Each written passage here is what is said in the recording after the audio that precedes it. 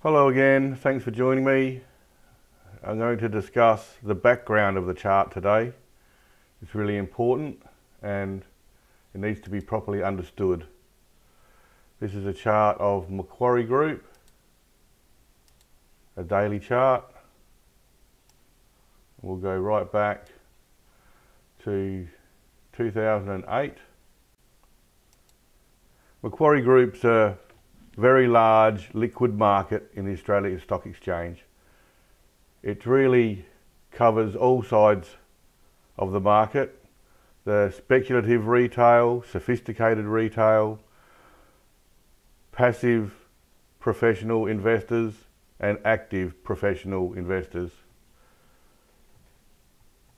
It's a really large market and today's discussion really covers more large liquid markets. It doesn't matter whether they're small micro cap stocks right up to Macquarie Group and stocks of that type or futures markets, any large liquid markets. The background of a stock or a background of a chart is the last significant buying or selling event on the chart. Now you can see up here, this was some form of minor selling event. And what happened in response was a downtrend established. Now, it may not be quite clear to see straight away, so we'll just quickly go through this. Whenever you see a widespread up bar on relatively high volume or high volume, you should always be wary that that contains selling. It may not. It may be pure buying and the stock's going to go to the moon. But just as often, you'll find that a widespread up bar and high volume contains selling. Now in this case, look at the next bar. It was lower. And the next bar, well the next two bars were lower in response.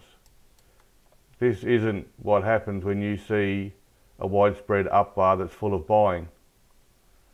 I would suggest whenever you see a widespread up bar or up bars, you mark the low of the bar and mark the true range low, which is from the previous close. You can see there's a slight gap up off the low there.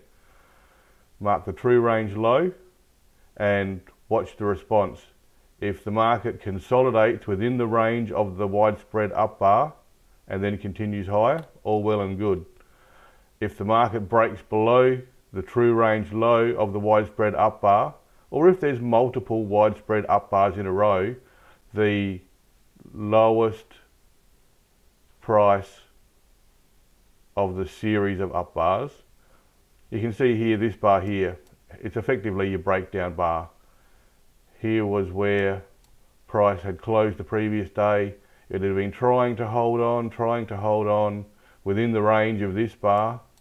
Uh, it was below the low, but it wasn't significantly below. It hadn't clearly broken down, but this bar here, price broke down.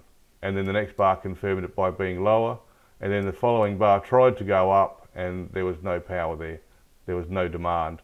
And you knew that it was pretty much all over at that point. And there was a good chance that a negative influence had taken over the market and that would probably establish into a downtrend, which is what happened. Okay, let's clear that and we'll get going again. So anytime you see a widespread up bar, before you just consider it all buying, think about it and put in some measuring like this just to see what happens and how you can determine whether it really is positive or not. Now, when you have a significant buying or selling event on the chart in a market that's large and liquid, uh, Macquarie Group is so big there are even specialists uh, in the market who specialise in trading Macquarie Group. It's their primary focus, there's no doubt. Now, when you see an event like this, this is what is the back, the current background of the chart. In this case, it's a selling event, also known as weakness in the background. Once an influence in the market becomes established like this, it can develop into a downtrend. This is a negative influence. It's a selling event, also known as weakness.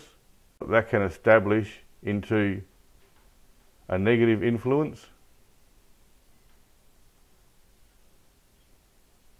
and a negative influence can develop into a downtrend. Now, when you see a market that's trending lower, you expect to see increasing spreads to the downside and increasing volumes down here to the upside. And when you see a up bar in response, it'll generally have a narrow spread and low volume. So there is a lack of demand in the market. Now, that's the textbook perfect description. Markets aren't textbook perfect. In the real world, stuff happens. Um, so you won't always get a perfect response all of the time. But in general, you expect in a market with a negative influence to have expanding ranges to the downside and contracting ranges to the upside. You expect expanding volume to the downside and contracting volume to the upside. Effectively, you're saying prices finding it easier to move lower because there's more sellers in the market and prices finding it more difficult to move higher because there's less buyers in the market. And you'll see a series of down bars all in a row because it's easier. When you get up bars, they generally don't make much ground higher, or if they do, they have narrower spreads and higher volumes, which means they're full of selling. Because if they were full of buying, they wouldn't have a narrow spread like this. If they were full of buying, they wouldn't have a narrow spread like that on volume that's really quite high.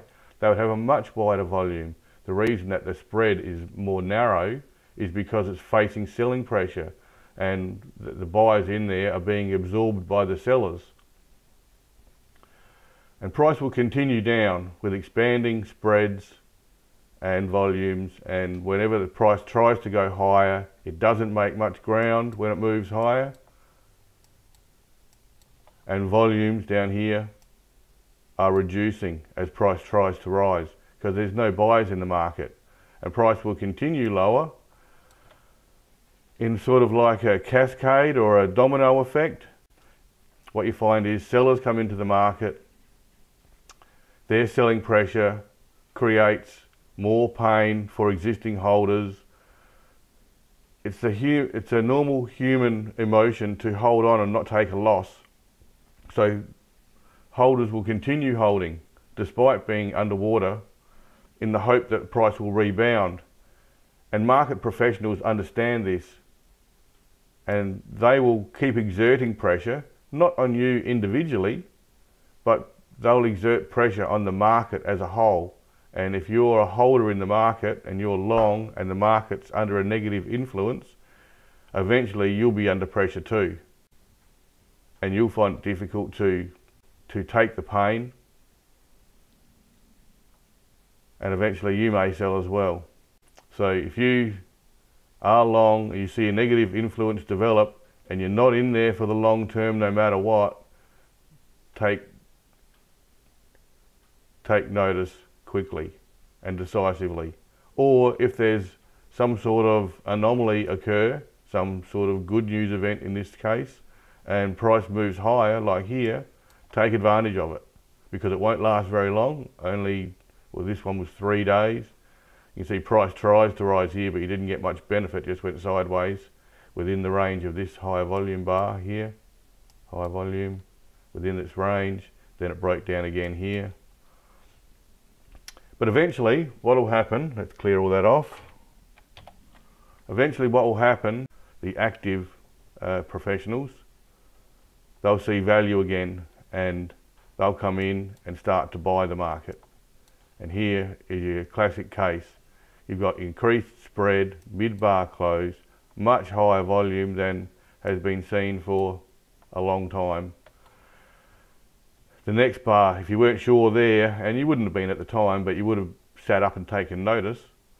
Uh, the next bar, very narrow spread down bar, very high volume, even higher than the previous bar, which has made you sit up and take notice.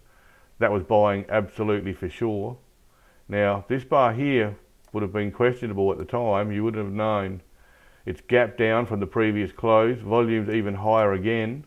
You wouldn't know whether it's going to continue lower. It's closed below the low of that initial bar. It would have been a real concern. this has turned out to be a massive shakeout because the very next bar was a buy the offer bar on high volume. What's happened there is probably been shorted lower deliberately, immediately covered. They're not shorting it to hold it and make a profit. They're shorting it to push the price lower in one quick, swift move, which is why the volume is very high because those short positions were probably immediately covered on the same day. But at the same time, the offer was rebuilt by anyone in the market who was thinking of selling but didn't want to take the extreme low prices, so they've set their price a little bit higher, and the, the buyers have come in and they've bought the offer straight up over three days here. Um, each of these bars was some form of that one event buying the offer. Now let's clear that again so we don't get too confused.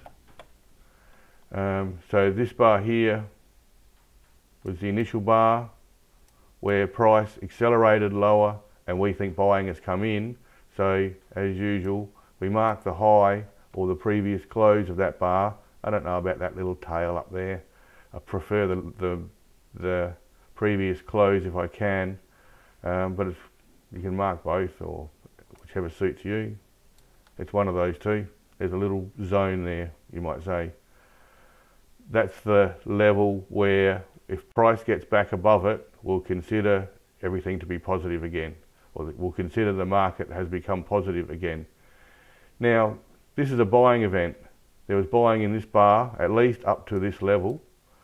There was buying in this bar for sure. This is part of a shakeout. This is the other half of the shakeout. And this is the momentum that followed the shakeout. You can see prices moved up to where we've marked. Then it's come back to test the market for supply and you can see that supply is still reasonable but then there was no demand for a couple of days and prices moved higher again here on increased volume. And then a test for supply and wouldn't you know it volume is very low. There's no sellers in the market anymore. Anyone who was going to sell has more than likely done so. The professional buyers have moved in and in response price breaks out.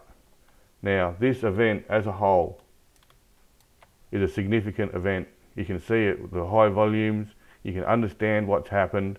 This is an accumulation and that will put strength in the background of the chart.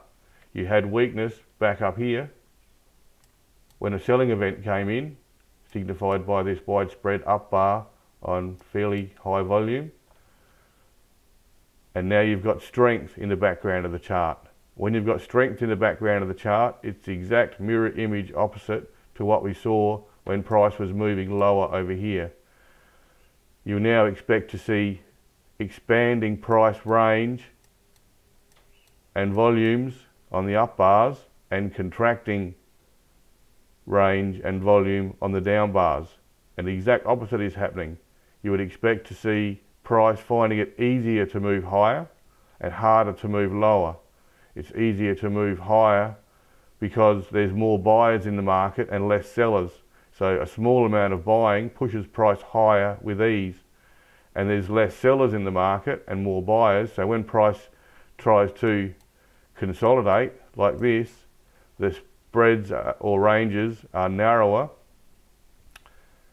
and the volume is lower generally you'll find that the market buys any sellers that come into the market, um, they absorb them. And that's because you've got professional, active speculators that have taken positions down at the bottom here, and they're supporting their buying, they're supporting their positions. So when selling comes in, uh, they're happy to absorb that selling. They're effectively buying it themselves and protecting their positions if something really bad happens, they'll have to go down with the market as well. But they'll generally support their positions where possible. Uh, one more thing to note down here I should have mentioned. I'll clear that.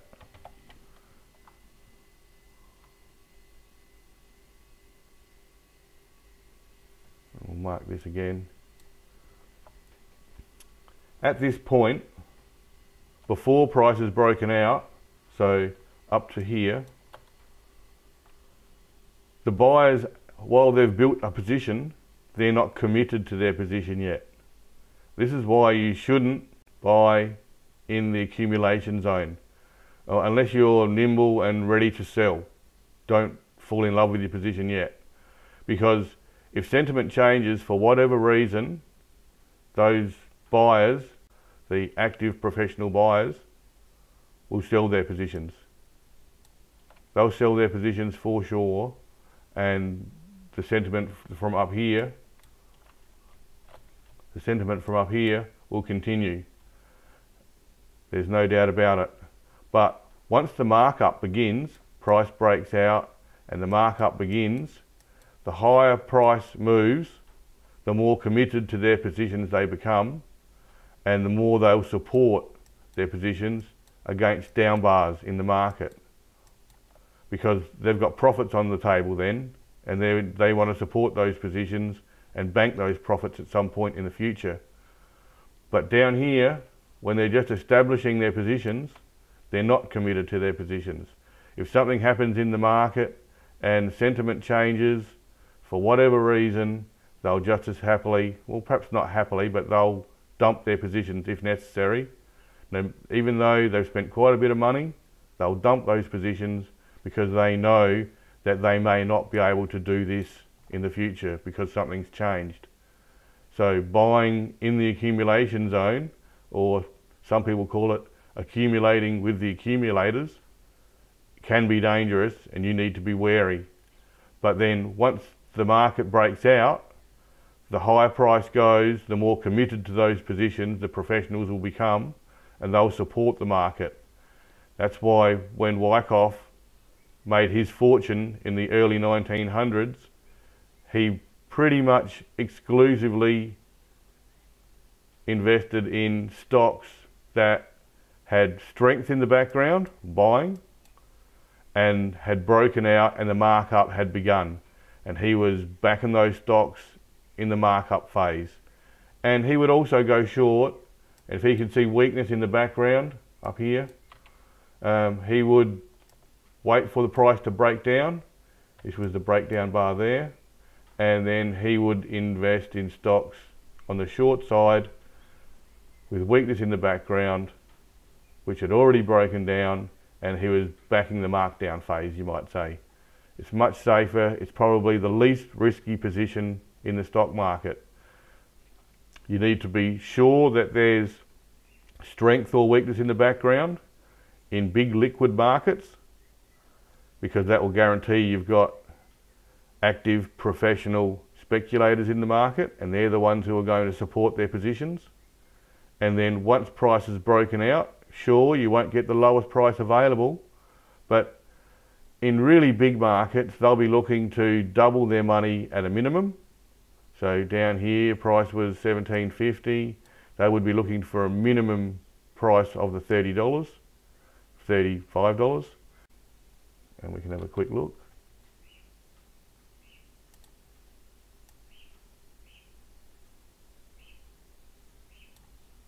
$35 and you've got a widespread up bar. It's a bit unusual, isn't it? Why would we see that? Widespread up bar on high volume and then price comes back down to consolidate. You can bet your bottom dollar there was a bit of selling in there. It's up $55. So look at the look at the background of the chart.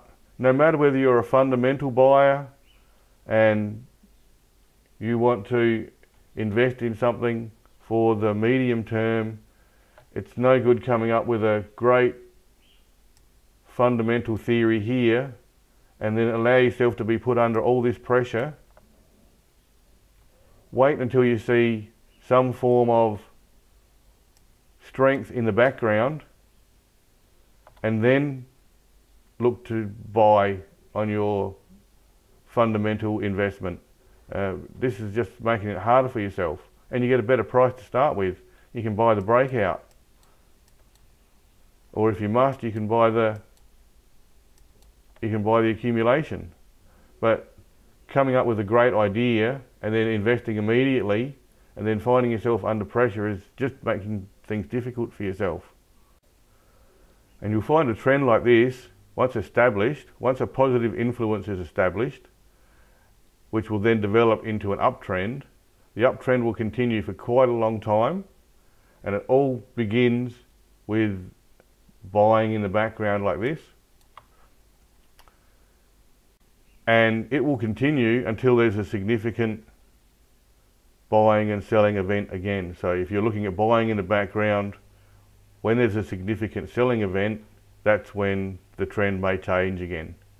But it, and they can be minor or major, and you have to work that out for yourself as you go along. You can see up here was a fairly minor event, but it established a, a negative sentiment and a negative downtrend developed from that until it price moved down until we could see this buying event down here, which then changed the background to positive, to strong, with buying in the background. With a strong background, you expect price to establish a positive influence and therefore in time an uptrend will develop. Uptrend is really uh, buy the dips nature in the market. Whenever price dips lower, you find buyers will step up and support the market because they're ready to buy the dips. Buy the dips is a market with a positive influence or an uptrend in position. And exactly the opposite happens in a downtrend. When you've got a negative influence in the market, you've got sellers waiting to sell. They don't want to sell as price is getting lower, so when price moves higher, they're happy to move in, well not happy, not happy, but they'll move in and sell their investment at the higher price. Okay, hopefully now you've got some understanding of the background of a chart and how important it is, especially if you're a, a trader, but it makes some difference for investing as well. If you're a, if you're a fundamental investor, having a little understanding of market dynamics is going to be an advantage for you. Okay, hopefully that was worthwhile. Thanks for joining me. See ya.